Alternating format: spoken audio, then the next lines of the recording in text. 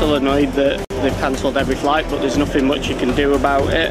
Um, I'm probably going to extend my stay on Bali because I'm just travelling, um, but I imagine a lot of people are frustrated trying to get home. Um, so I'm just going to head back to Bali and extend my stay a bit and see what happens.